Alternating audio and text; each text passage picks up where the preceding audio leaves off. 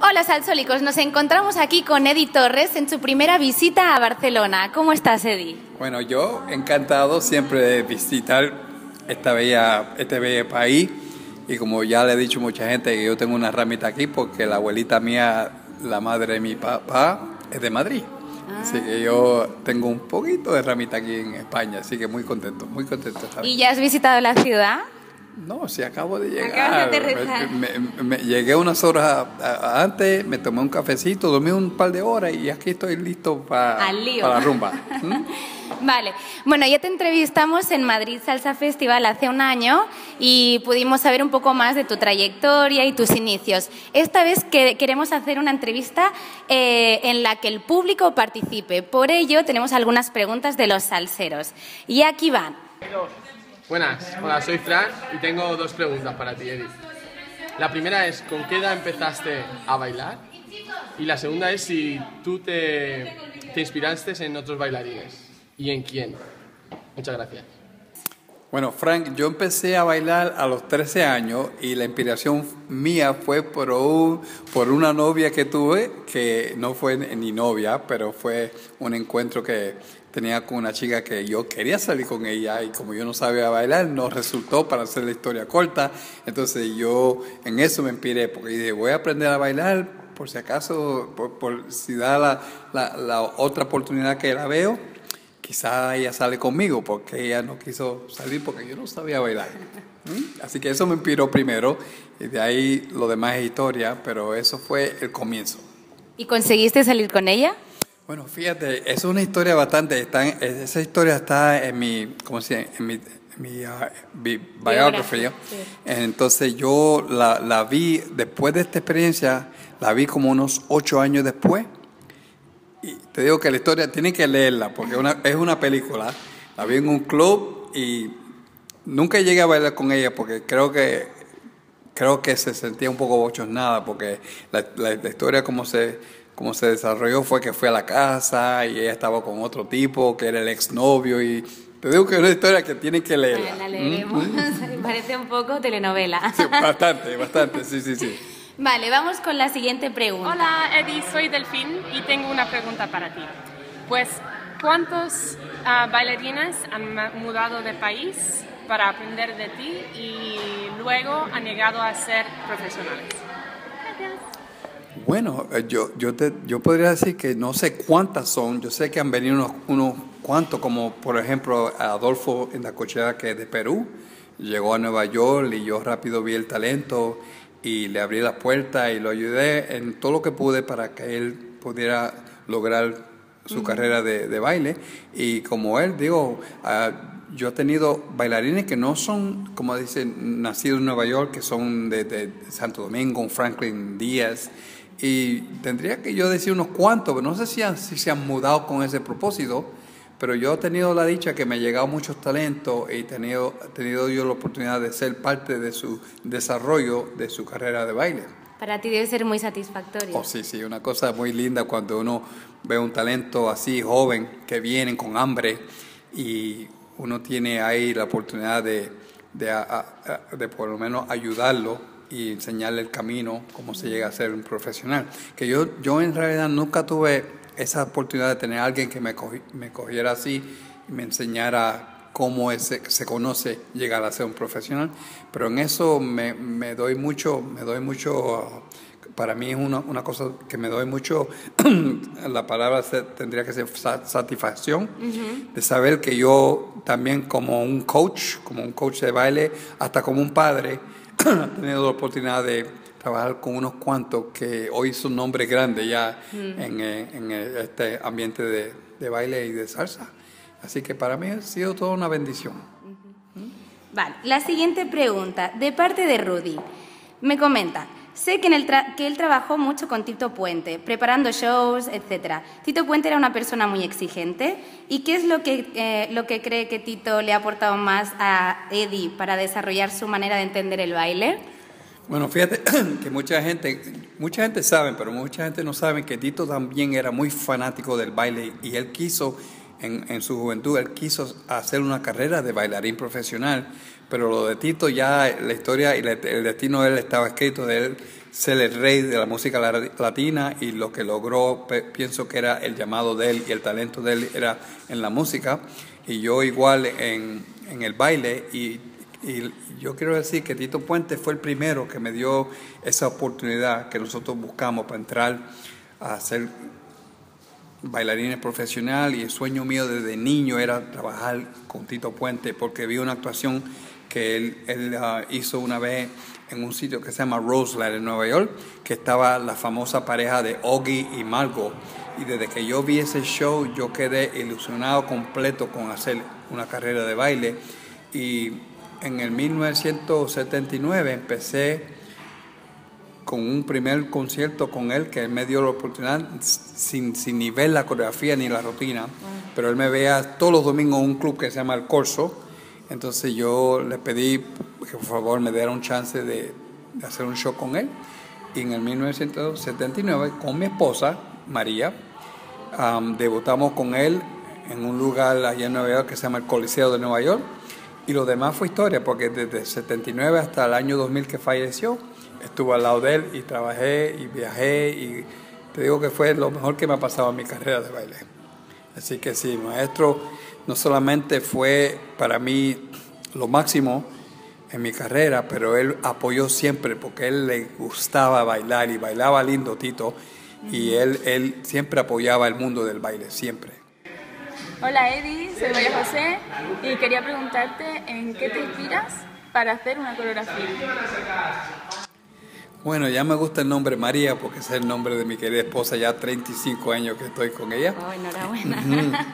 Y digo yo que para mí yo soy un soñador, como somos muchos los artistas, y para mí todo comienza con la música.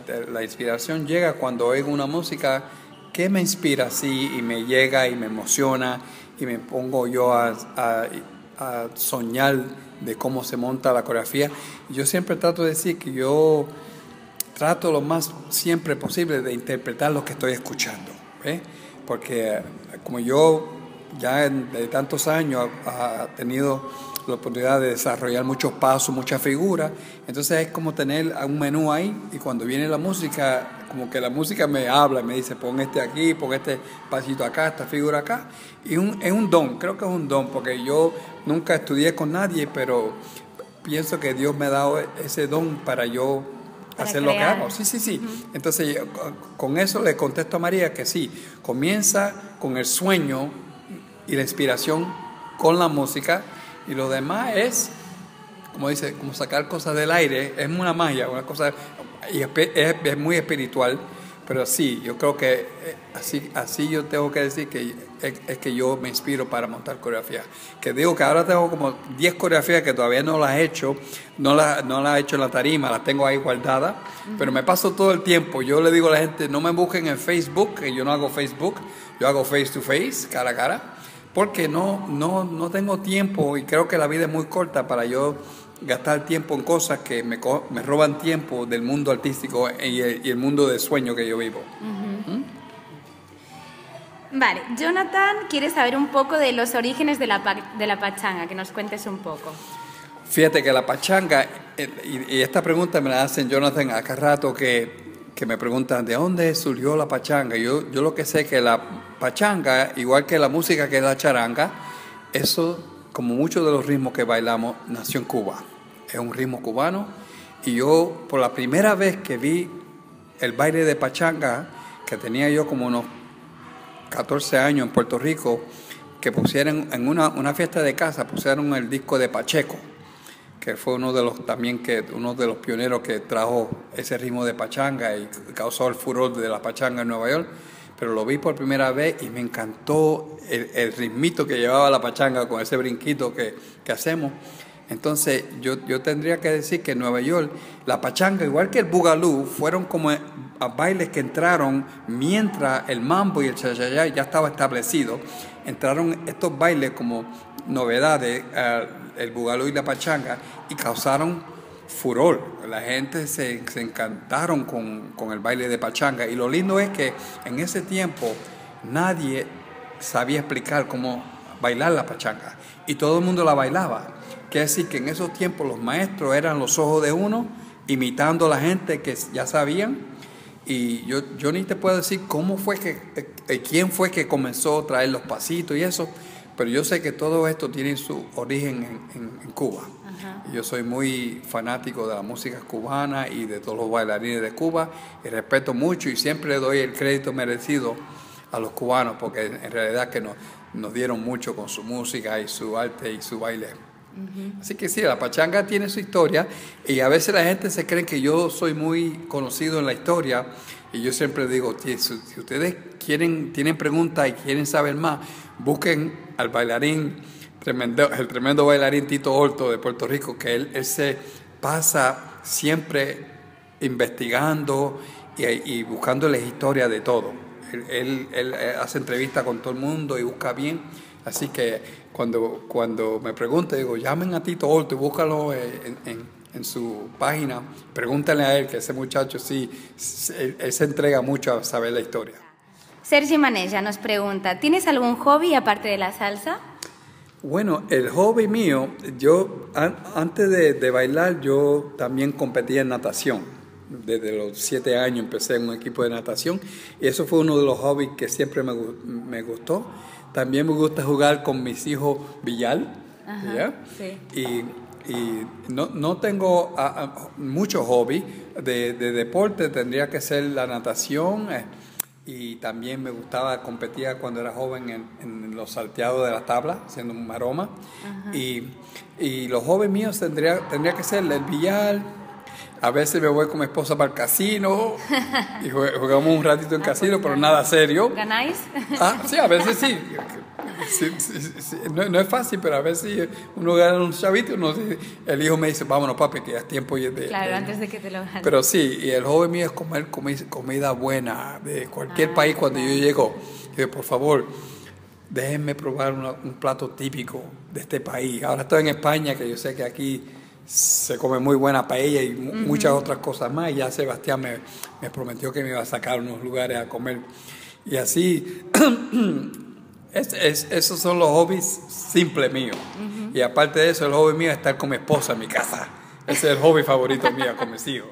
¿Conoces a José Bota? Sí, el, muchacho que hace los zapatos. Sí, sí, que hasta, hasta me regaló dos pares de zapatos con mi nombre y todo. Y, un muchacho muy, muy simpático, muy amable.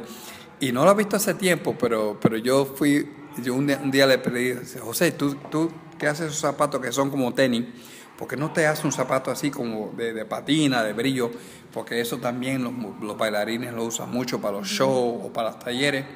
Y, no lo he visto hace tiempo, pero estoy, estoy curioso a ver si él se ha inventado ya el zapato también para salir, para bailar. O ¿Y has utilizado algún zapato de él? bueno, el único que yo usaba es el que me, me hizo con mi nombre, que le, le, me dio dos pares y le regalé uno al hijo mío cuando se graduó de la escuela y él está encantado porque el hijo también baila, que ya el mundo lo, lo está llegando a conocer, Eric Torres Jr. o Eduardo Torres, como el que se quiere llamar, y porque es un nombre que yo le di. Se llama, para que sepan, Eduardo Naborí Torres.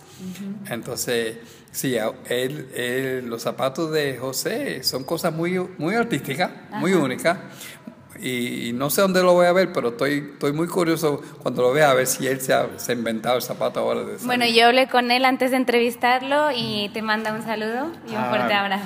Por favor, cuando hable con él, devuelve, devuélveme el, saludo y dile, él está muy curioso a ver si ha, si ha, ha producido el zapato de brillo para bailar o para los talleres que si, si los tiene, que me guarde un par, que lo, quiero, lo quiero comprar y lo quiero tener. Vale, perfecto, Eddie. Pues muchas gracias por tu tiempo y gracias por venir a Barcelona. Te esperábamos con muchas ansias. Y nada, te esperamos de nuevo bien pronto por aquí. Bueno, como digo, cuando, cuando estoy viajando, o, o sea España o Italia, yo, yo me siento muy contento, me encanta viajar, aunque ya estoy un poco cansado porque ya el maestro tiene 64 años, para 65, pero que para mí es un, un, placer siempre cuando llego, o sea, Madrid o cualquier sitio en España. Este, si no me equivoco, creo que estuve aquí en Barcelona una vez en un concierto que estaba José Alberto y, y, tengo que investigar porque hace unos cuantos años atrás, porque me preguntó Sebastián si era mi primera vez aquí en Barcelona Pero en realidad cuando yo llego a los países nunca me da la oportunidad de ver como turista Claro. y disfrutar de, de la ciudad, de las cosas históricas de los países. Pero creo que en, este, en estos par de días me, me tienen un plan para llevarme por ahí a ver y a comer y a disfrutar un poco de la, de la, de la bella ciudad esta de Barcelona. Así que yo muy contento gracias, a todos mis amigos y mis fanáticos de aquí de España. Yo siempre, como, como digo, no, no me siento un hombre ni famoso ni nada. Yo so- que soy un negrito chévere del Bronx allá de Nueva York. Soy puertorriqueño con mi ramita aquí de, de parte de mi, mi abuelita que, que de Madrid. Y, y siempre me siento un hombre muy bendecido porque Dios me ha dado la oportunidad con este talento que me ha dado para conocer y compartir con gente bonita por el mundo entero. Así que gracias, gracias a toda España, gracias por el, por el cariño y, el, y el, ah, como dice, recibimiento que siempre me han dado aquí. Gracias. Gracias a ti por tu amabilidad. Con un gran placer, Bella. Gracias.